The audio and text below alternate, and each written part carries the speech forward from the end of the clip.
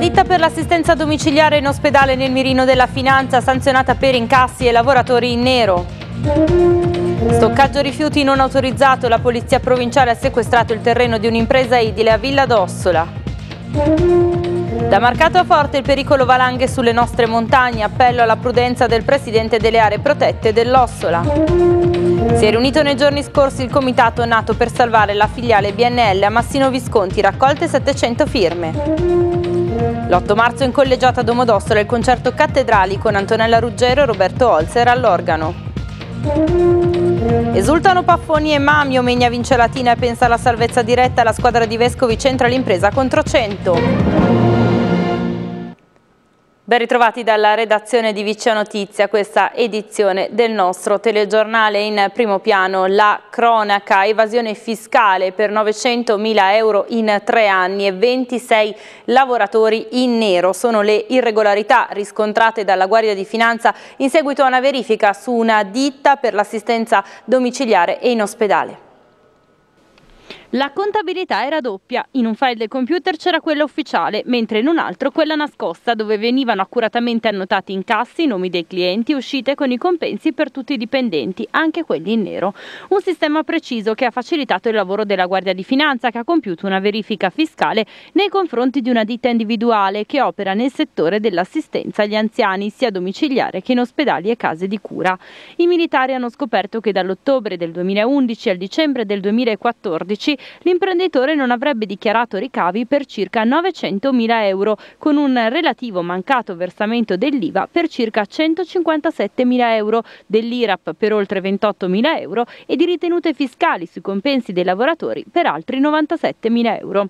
Non solo, le fiamme gialle della compagnia di Verbagna hanno anche scoperto che dei circa 90 dipendenti che lavoravano per l'azienda, sia italiani che stranieri, 63 avevano contratti con orari inferiori rispetto a quelli che effettivamente venivano praticati, mentre 26 erano totalmente in nero.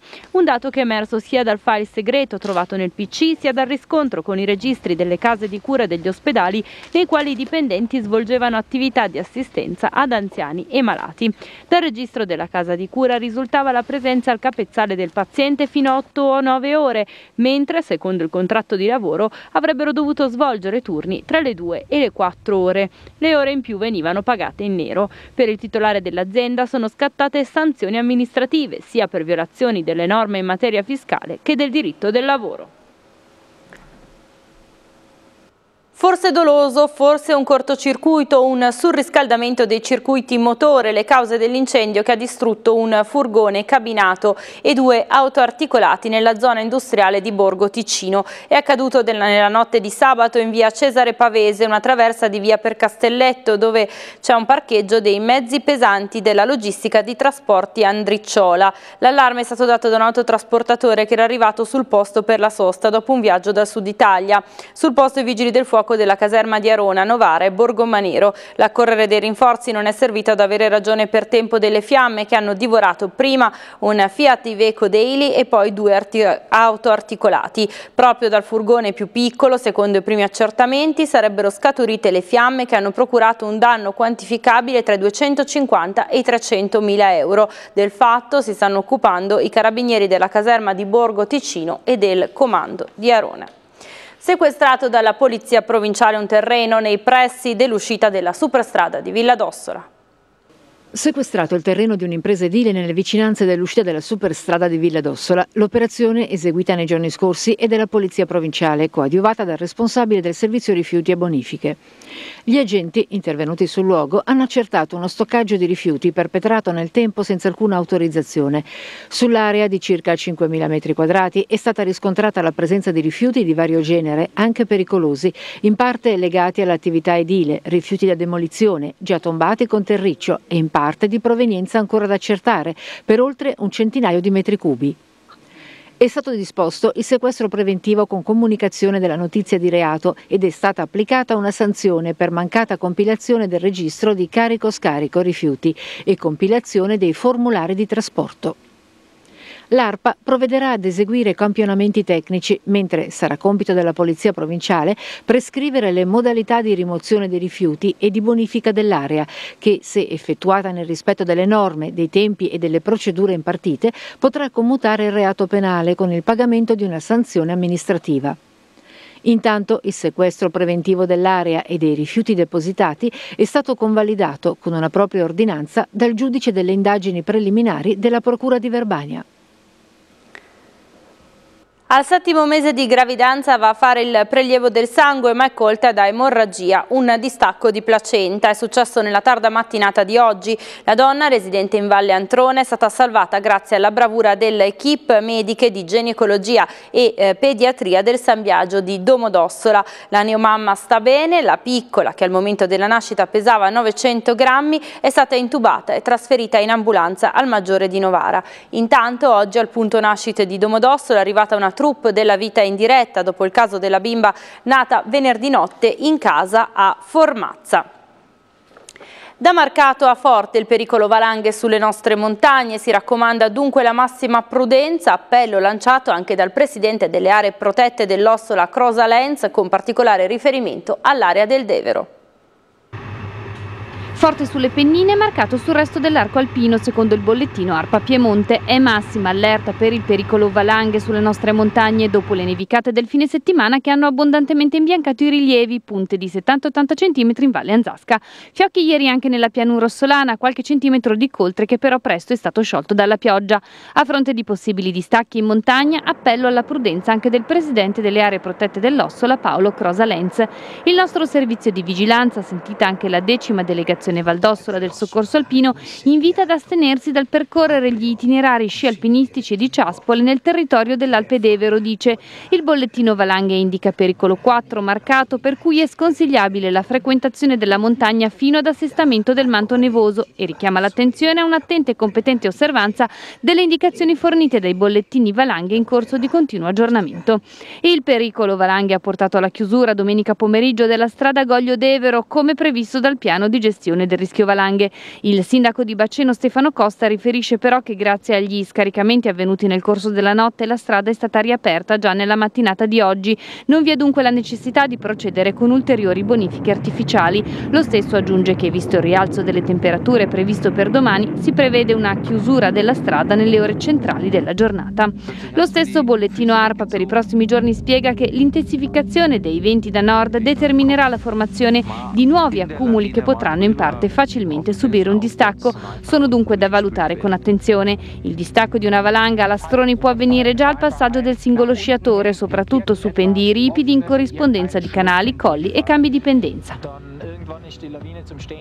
Allarme per un mancato rientro nella serata di ieri in Alta Valle Bognanco. Fortunatamente però le persone a causa dell'abbondante neve caduta erano rimaste bloccate nella loro baita in zona Paioni. Sono intervenuti gli uomini del soccorso alpino decima delegazione Valdossola della stazione di Bognanco che hanno rinvenuto le persone in baita illese e le hanno accompagnate poi a San Bernardo. Ed ora torniamo sul progetto dell'elettrodotto Interconnector. Dopo gli sviluppi eh, da Torino della scorsa settimana, l'intervento del Comitato Salviamo il Paesaggio Valdossola e del candidato sindaco a Domodossola Bernardino Gallo. Non possiamo condividere una posizione tanto subordinata della Regione, la quale accetta senza alcuna opposizione le decisioni del Governo, ben sapendo che il progetto Interconnector non porterà alcun beneficio in termini strategici, economici, occupazionali e sociali ai cittadini piemontesi, tantomeno a quelli residenti nelle zone montane interessate. Così il Comitato Salviamo il Paesaggio Valdossola, dopo le ultime notizie sul via libera Interconnector della Regione giunte dal Movimento 5 Stelle e la risposta del vicepresidente piemontese Reschigna. Il Comitato ricorda ricorda che la Giunta regionale ha ricevuto a Torino il 18 febbraio rappresentanti territoriali di associazioni e comitati dei cittadini interessati dal progetto. In quell'occasione gli stessi avevano espresso le loro perplessità e contrarietà sulla questione. La Giunta, dicono dal comitato, si è espressa ribadendo la propria posizione di mediazione, non dipendendo dalla Regione la decisione di fare o non fare l'opera, ma sottolineando come l'infrastruttura sia di interesse strategico nazionale ed europeo. Sempre dal comitato riferiscono di una nota pubblicata sul sito del Ministero Ministero dell'Ambiente, secondo la quale è stata concessa una sospensione del procedimento di 10 mesi. Su Interconnector anche il candidato sindaco Domodossola Bernardino Gallo, che comprende l'importanza dell'opera di Terna, ma scrive non intendiamo tollerare che si crei un ulteriore vulnus al territorio dell'Ossola che ha già subito numerose ferite. Altra questione segnalata da Gallo è quella non ancora ufficiale di collocare la centrale di tale opera a Piedimulera, magari nei pressi del sito per il nuovo ospedale, allo scopo di tarpare le ali a chi, dice Gallo, pur potendo essere favorevole all'ospedale unico, non lo è per collocarlo in quella che Gallo definisce la disgraziata area di Ornavasso. Gallo sollecita la regione e Reschigna ad avanzare una soluzione di impatto ambientale prossimo allo zero con l'aggiunta di compensi adeguati che non siano il solito piatto di lenticchie come per altre opere del passato, scrive. Topi alla Terezin di Domodossola è mancata ordinanza di chiusura della materna da parte dell'amministrazione Cattrini durante la derattizzazione nonostante la richiesta della direzione scolastica protocollata un'interpellanza presentata da Fratelli d'Italia e Lega Nord. Nel documento si chiede a sindaco e assessore competenti quali siano stati i motivi della mancata ordinanza circa la chiusura temporanea della scuola e per quali ragioni sono state ignorate le istanze della dirigenza scolastica. È nato un comitato contro la chiusura della filiale BNL di Massino Visconti. Nei giorni scorsi la riunione sono già 700 le firme raccolte per chiedere che la banca non chiuda i battenti. Si sono riuniti in comitato i cittadini di Massino Visconti per difendere la loro banca, la Banca Nazionale del Lavoro. La loro filiale, nata 22 anni fa, era stata voluta da Giampiero Cantoni, Giampiero Cantoni che aveva una residenza qui proprio a Massino ed era il presidente nazionale della BNL. Sono già state raccolte 700, siamo quasi a 800 firme, la popolazione non si arrende, vuole difendere questo sportello unico oltre ad un'altra in tutto il Vergante. Finché si riesce uno con la macchina, ma ci sono tanti vecchietti che vanno a prendere su 200 per pagare, i negoziati che sono qui non tutti possono pagare con la carta, allora devo andare giù ad Arona per prendere quei 200-300 euro. 5 ne pagano 50 già dal pullman, sono una mezza giornata in giro con la paura che qualcuno gli dà la mazzata in testa. Anche per i forestieri che arrivano a Massino e che si trovano, e che, si trovano che per la comodità del bancomat una cosa o un'altra devono partire e uscire da Massino, eh, stiamo proprio andando un po' a rotoli. Ecco. Come negoziante cioè, mi cioè, mi spiacerebbe perdere un servizio del genere eh, sia a livello mm, personale che a livello di turismo, a livello di, di orgoglio da, da, Massinese. Anche noi dell'amministrazione comunale di Massimo Visconti siamo qui questa sera per esprimere la nostra vicinanza alla, alla, cittadinanza che si sta attivando e abbiamo fatto una delibera di giunta eh, insieme al comune di Brovello Carpugnino e a Geniese e per chiedere un ripensamento appunto alla banca che creerebbe diciamo, eh, un disagio sociale per tutta la cittadinanza, facciamo appello alla funzione sociale che dovrebbe avere eh, anche, anche la banca e insomma chiediamo un ripensamento a questa decisione, abbiamo inviato la delibera anche a, ai rappresentanti del nostro territorio, quindi sia senatori che onorevoli e anche alle organizzazioni rappresentative de, de, delle amministrazioni, quindi sia all'Anci che all'Uncem e aspettiamo riscontri insomma. Abuso di alcol ma anche social network e gioco d'azzardo. Verbagna ha dato il via a un progetto insieme a Contorno Viola, al CERT e ai servizi sociali sulle eh, principali problematiche di adolescenti e ragazzi. Abuso di alcol ma anche social network e gioco d'azzardo. L'assessorato alle politiche giovanili del comune di Verbagna ha dato il via a un progetto insieme a Contorno Viola, al CERT e al Consorzio dei Servizi Sociali sulle principali problematiche di adolescenti e ragazzi. Oggi un primo incontro con i baristi di Intra, da giovedì al via a serate con professionisti rivolti non solo ai ragazzi ma anche alle loro famiglie. Saranno delle, delle serate eh, aperte al pubblico, quindi non soltanto ai ragazzi ma anche ai genitori e insegnanti.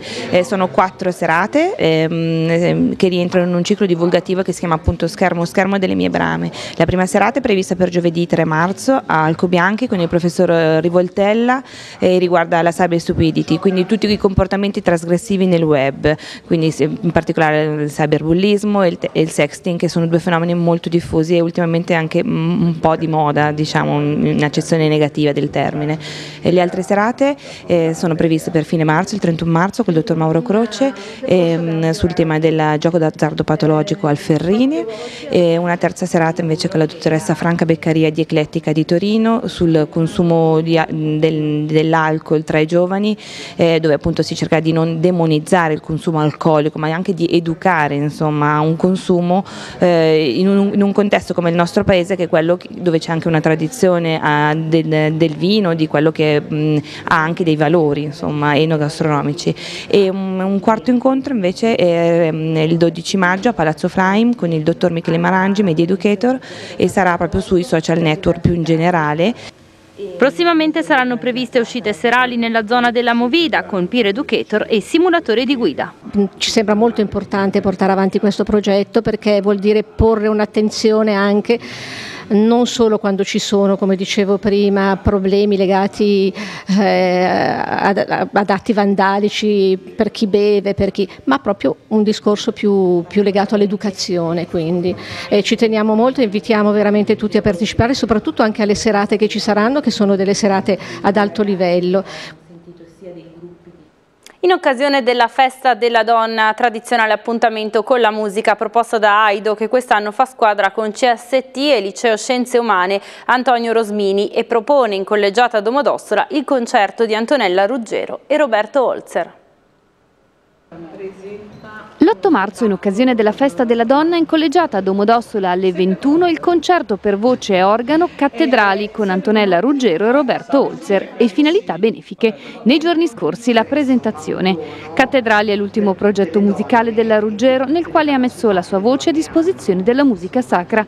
Grande è stato il lavoro di trascrizione degli spartiti da parte di Holzer che rende il concerto unico e inedito. E siccome non esistevano eh, spartiti eh, di, di, questo progetto che lei ha registrato a novembre eh, nel Duomo di Cremona, eh, è stato necessario proprio dal disco trascrivere gran parte delle cose e poi attraverso lo studio sullo strumento della collegiata trovare delle soluzioni per rendere quelle sonorità che lei aveva sull'organo di, di, Cremona su questo strumento Bernasconi della nostra collegiata. Da anni in occasione dell'8 marzo Aido Valli Ossolane promuove il messaggio della donazione degli organi attraverso la musica e lo spettacolo. Il concerto di quest'anno è organizzato con il Centro Servizi per il Territorio e il Liceo Scienze Umane Antonio Rosmini, progetto musicale. Aido Valli Ossolane ha scelto proprio da tempo lo spettacolo, l'arte, la musica, la danza, il teatro quale veicolo privilegiato, no? proprio per diffondere il proprio messaggio di solidarietà, di condivisione, di aiuto. E otto anni fa abbiamo pensato, perché questo è proprio l'ottavo anno, abbiamo pensato che la giornata internazionale della donna potesse essere eh, un momento particolare per spalancare proprio le, le porte, diciamo così, dell'attenzione, della cura verso questi problemi, perché eh, è vero che le donne hanno un'attenzione diversa nei confronti di questa, di questa problematica e, ehm, e, dobbiamo dire che proprio in queste serate noi sentiamo che il nostro messaggio arriva in maniera particolare. Ingresso al concerto 10 euro, i biglietti sono in prevendita a Domodossola presso CST, Libreria Grossi, Strabiglia Bar, a Gravellona Parco Commerciale dei Laghi e Intra presso le librerie Il Libraccio ex Margaroli. E ora apriamo la pagina sportiva partendo dal basket e dalle immagini della vittoria della Paffoni a Latina. Era uno snodo cruciale per il campionato, una tappa obbligata per dare concretezza alla missione salvezza diretta, che rimane difficile ma non impossibile, anzi, viste le sconfitte nel turno di domenica di Rieti e Reggio Calabria ora agganciati dalla Paffoni a quota 18. La Paffoni è passata con un assoluto merito sabato sera alla Pala Bianchini contro la Benacquista Latina, conquistando il secondo successo consecutivo in trasferta, il terzo nelle ultime quattro partite. Lo ha fatto in maniera quasi prepotente, non lasciando spazio e speranza ai padroni di casa, surclassati a livello di energia fin dalla palla 2. È vero che la squadra di Gramenzia aveva qualche problema fisico, ma questo non può e non deve inficiare i meriti di una Fulgor vicina alla perfezione. La differenza ancora una volta l'ha fatta la premiata ditta Galloway Smith. Il primo ha giocato un'altra partita al servizio dei compagni, chiusa con 13 punti, 4 su 5 al tiro, 2 su 2 liberi, 6 rimbalzi e 4 assist. Il secondo ha scritto a referto 22 punti e 9 rimbalzi con uno strapotere fisico impressionante ma accanto a loro hanno brillato altri interpreti, ad esempio un ritrovato di Annunzi sicuramente agevolato dai guai fisici e dai falli di Mosley, ma bravo a farsi trovare sempre pronto sugli scarichi. Conferme per Gurini e Casella, entrambi in doppia cifra, così come un Cappelletti bravo nella gestione dei possessi importanti. Ora Omenia può vantare un 2-0 negli scontri diretti con Latina, che può avere un peso specifico enorme anche perché la Benacquista al quarto KO di fila sente il fiato sul collo delle inseguitrici e rischia di venire trascinata nella bagarre quando fino ad un mese fa cullava legittimi sogni playoff. Come detto, match indirizzato subito sui binari rossoverdi, pronti via e la Pafoni scappa sul più 5 con 8 punti del primo quarto di Casella. Latina è essenzialmente Novacic anche perché May sparacchia. Al decimo Omegna avanti 23 19. Il vantaggio cresce nel secondo quarto quando i rossoverdi provano la prima vera fuga. Un dardo di Galloway, imitato poco dopo da Gurini che confeziona un gioco da tre punti, valgono un margine in doppia cifra. Ultimi secondi di confusione Tavernelli ne approfitta per piazzare un 6-0 che contiene i danni per Latina, comunque sotto 48-40. In apertura di terzo quarto, canestro ancora dell'ex Omegna, ma Iannuzzi comincia a fare la voce grossa. 8 punti consecutivi e nuovo break della Fulgor che scappa e non si fa più riprendere, anche perché Galloway segna da 9 metri, Gurini e Cappelletti colpiscono dall'arco e la Paffoni prende l'arco sul 70-59. Ultimo quarto in totale controllo con Omegna anche a più 20 prima del 78-90 finale. Ed ora in Serie B dove continua il magic moment della Mami capace di battere anche 100 ed ora i biancorossi sognano i playoff. 3 su 3. Gli squali disegnano un'altra splendida pagina del loro campionato e nella ventiquattresima giornata mettono da parte altri due punti importantissimi ancora fra le mura di casa contro 100 tra le corazzate in corsa per il salto di categoria. Una lotta punto a punto durata fino alla fine che ha esaltato il sangue freddo di Ferrari e compagni che hanno acquisito nei finali in volata una sicurezza davvero incredibile. Ora due settimane per ricaricare le pile, visto lo stop per le finali di Coppa Italia a Rimini. Si riprenderà proprio in Romagna ma in campionato al Pala Flaminio il prossimo 13 marzo, quando in paio ci saranno punti davvero pesanti per il sogno playoff.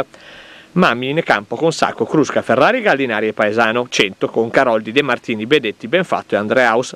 Gli squali provano subito a scappare con Ferrari che ha la mano calda dalla lunga e Paesano deciso sotto canestro, ma gli ospiti, che ne hanno viste tante, non si scompongono e ricuciono subito il 7-2 iniziale con Caroldi e Benfatto, asse play pivot da categoria superiore.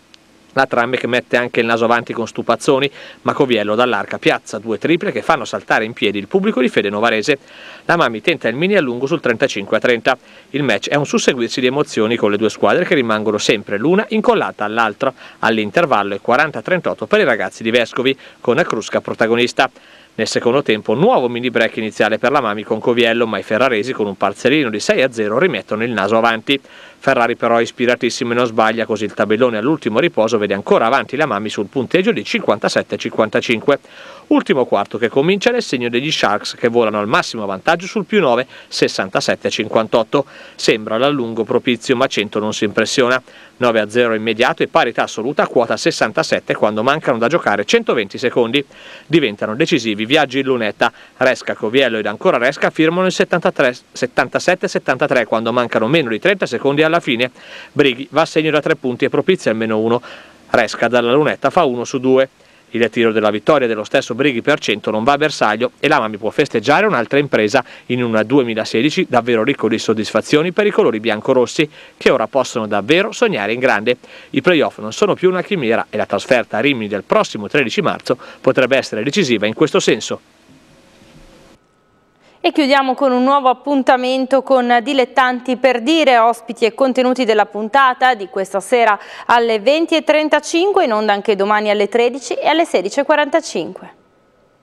Nuovo appuntamento con Dilettanti per dire, questa sera mh, dedicato a Serie D Eccellenza Promozione Prima Categoria, nonostante non si siano giocate tante partite. Gli ospiti di questa puntata sono con noi Giacomo Baraggioli, collega e amico del quotidiano La Stampa. Ciao Giacomo. Ciao Daniele. E insieme a lui Marco Livorno, res Livorno responsabile tecnico dell'Accademia Verbania. Ciao Marco. Ciao, buona serata. Eh, dopo x mesi, 6-7 mesi di questo nuovo progetto, possiamo dare già un primo giudizio, un voto?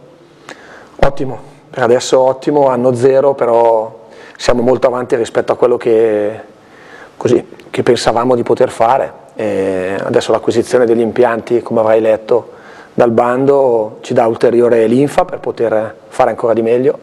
Sicuramente adesso non dobbiamo sederci e adesso è un momento difficile e quindi bisogna lavorare ancora più seriamente ma siamo un gruppo coeso e, e molto preparato. Tante società... Preparato nel senso di soffrire per questa cosa, per darci mano. Tante società Verbagna che fanno la prima squadra, due che fanno il settore giovanile, con quale di quelli che fanno la prima squadra andate più d'accordo?